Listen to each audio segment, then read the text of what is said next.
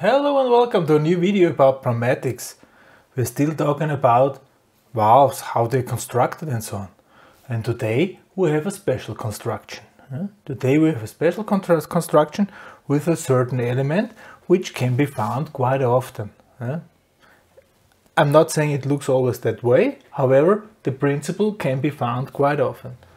Now if we take a look at this here, this is a roller lever uh, valve. So there is this lever, there's the roll, and whatever, whenever something is touching the roll, the roll can be pushed down. Ah, it is already pushed down. Also, this is the standard position, and the roll, whoop, if something is touching, is pushed down simply. And due to this pushing, yeah, the valve is switched. Let's have a look inside how this looks like. Okay, so I am now cutting this open and see what is inside there. Ooh, there is quite a lot of stuff inside, yeah? Let's see what is happening here because this actually, now let's zoom in, this actually is what this valve, what is operated by this lever. Let's push the lever up, let's push this also up I'm going to explain it to you. So when this lever comes down, at some point in time it is going to touch this and then it will move this down. And you see what is happening if this is moved down. If this is moved down here, here there is a there is a sealing and the sealing is usually pressed against this seat here. Yeah? It's pressed against the seat and if we move this down further, this seat is opened. Okay, so this is simply opened here and from here to here to this line, air can pass.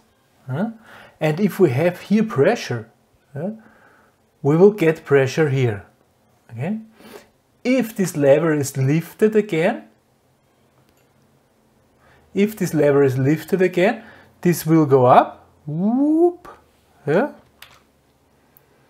This will go further up, and this is now sealed again. Then we have no pressure here, and here, going up here, the valve can be exhausted. So this, this line here is either under pressure if it's operated or not under pressure if it's not operated. However, it's a rather small, it's a rather small valve here, yeah, with tiny, tiny springs and, and, and stuff and so on, yeah. Here this is now sealed and opened and back, yeah. So this actually is a three two-way valve, yeah?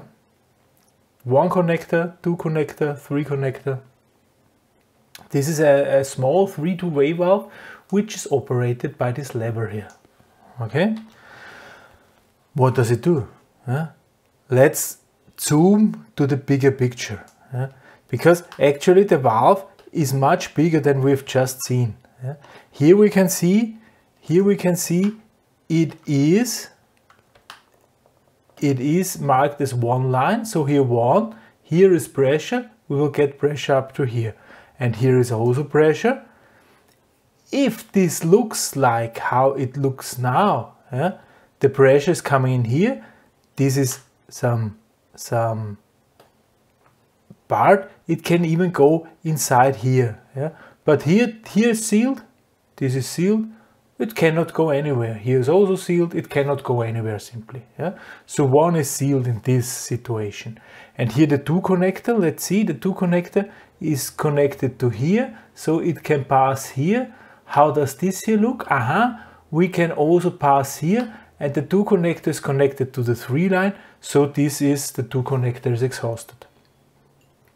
So if this is now operated and we can pass here, we have pressure here. Here is a membrane.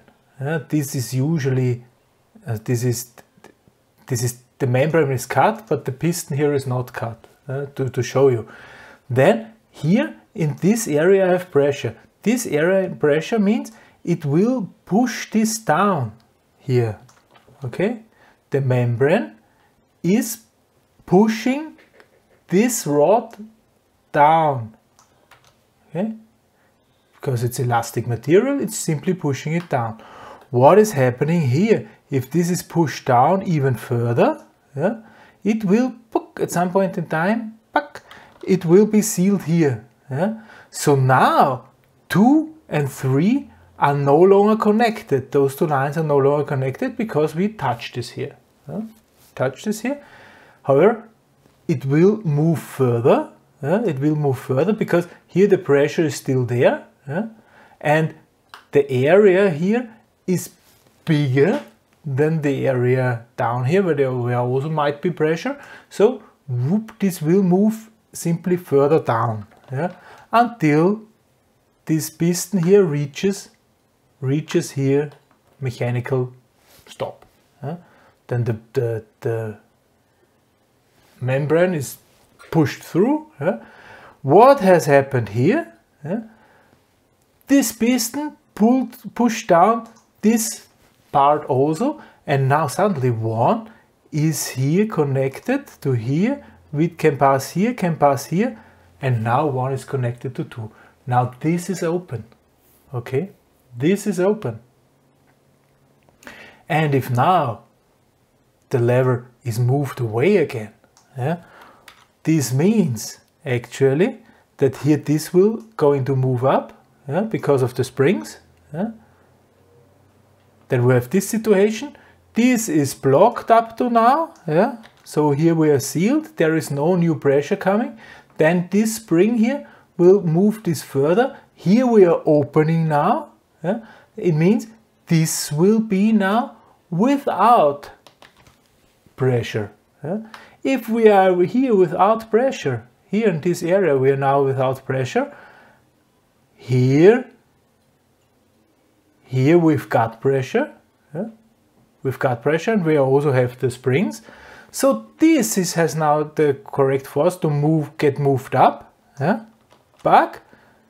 Now one and two are sealed to each other, three is still sealed, but however, there's also this spring here. But this will further move up. And here we are, we are open. Two is now again connected to three. We are at the previous, previous version. Yeah? So this little valve here, this little valve is operating a bigger valve. That's called pre-controlling. Pre-control or pilot control. Yeah? Why do we do that?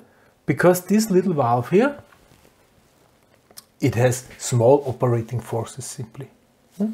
If we would have to use to operate this big valve here, we would really need a lot of force. Yeah? To operate this little valve here, no issue, small forces. So I operate with a small force this little valve, and this little valve is helping me to whoop, operate the big valve because it simply takes pressure from here. Uh, takes pressure from here. Now what is this?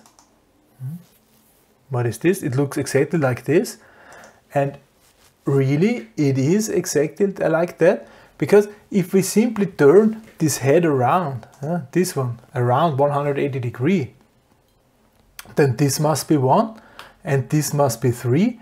Then 1 is connected with 2 usually and after switching 2 is connected with 3. So this is then, now we have lock rest position and then it's flow rest position.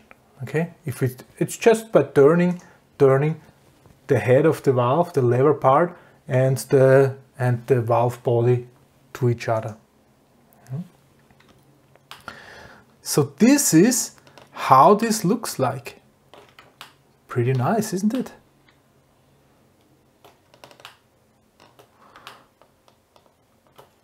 Pre-control valve. Hmm? How does it look like? How does it look like in, in as a symbol? We'll also show you.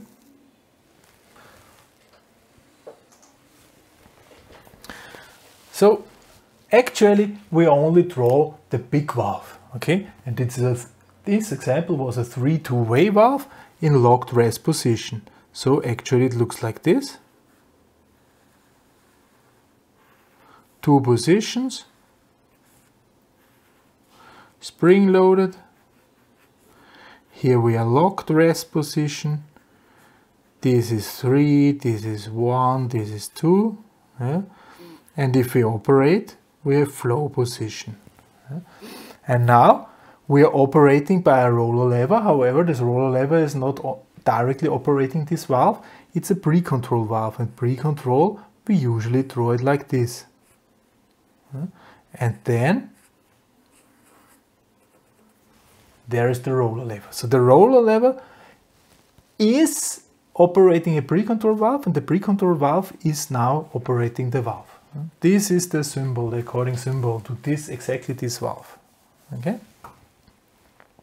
If it is operated,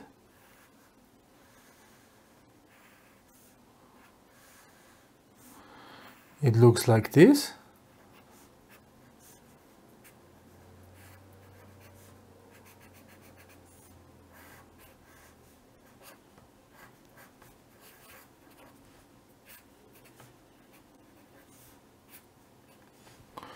And to indicate that it is operated, we draw again this, this part here. Okay? So this is the symbol of this valve. Sometimes, sometimes, not in this valve now, we have here a connector, uh, which is usually called 1, 2, uh, or, well, this one would be called 90. Uh, that's, that's Without this, we have seen air or the pressure is coming from one connector. Yeah? With a high number here, yeah? air is coming, air is coming at a separate connector at the at the valve. Yeah? It's not directly connected to one. There is a separate pre-control pressure connector. Okay. Pre-controlled valve must not only be with with these roller levers can be something else. Yeah, quite often used pre-control valves simply because of the operating forces. Yeah. So this is a very very usual concept. Next time we're going to talk about yet another uh, valve. Next time we're going to talk about uh, a 4-2-way valve. Okay. Let's see how this looks inside. Four two-way valves. Still poppet valves. Everything up to now are poppet valves. So for this time, thank you very much for listening. Goodbye.